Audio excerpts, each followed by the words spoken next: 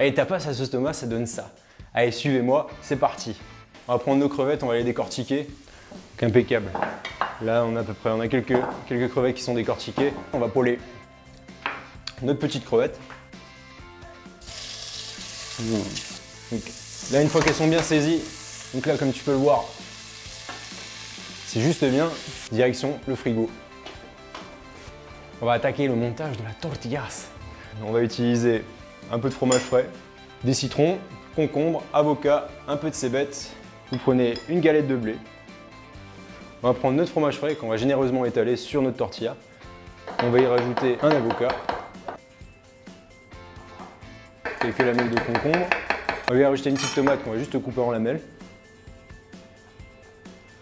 On y rajoute un peu de tomate séchée. Ça, c'est un produit que j'adore. Tomate séchée, pour moi, ça représente bien l'été, ça représente bien l'esprit tapas.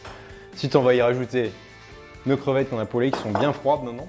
Va se disposer comme ceci. On y rajoute un peu de cébette. Cébette, c'est pas forcément intelligent. Un trait de jus de citron vert. Et on va les découper. C'est très beau, très très beau quoi. On va commencer par quoi? On va commencer par faire un petit gazpacho courgette, épinards avec un petit peu de feta et des herbes fraîches. Pour commencer la recette, on va tout simplement prendre une courgette qu'on va tailler grossièrement. On va donner une légère coloration. On assaisonne d'un peu de sel. On va rajouter avec mes courgettes un petit peu de romarin, un petit peu de thym. Moi j'adore ça, ça. Donc là, une courgette commence à prendre une petite coloration, c'est bien sympa. On y rajoute les épinards. On va juste faire suer très rapidement nos épinards avec nos courgettes. On va débarrasser tout ça. Direction le frigo. Donc là maintenant on va passer à l'étape suivante, on va mixer notre gazpacho. Donc là nos éléments sont bien froids. On va mettre tout ça dans notre mixeur. On rajoute quelques petits morceaux de feta. Pour donner quelque chose d'un peu plus sympa, on va y mettre aussi quelques feuilles de basilic dedans, basilic frais. Et le petit secret de la recette, c'est que maintenant, au lieu de mixer tout simplement avec de l'eau, on va utiliser des glaçons. Comme ça, on obtiendra quelque chose de bien glacé, de bien vert.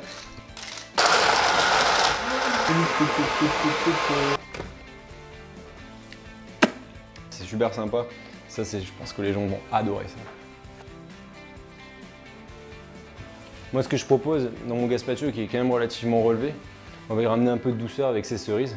On va y couper simplement une demi-cerise qu'on va poser dessus. Ça va ramener de la fraîcheur. C'est la cerise sur le gâteau.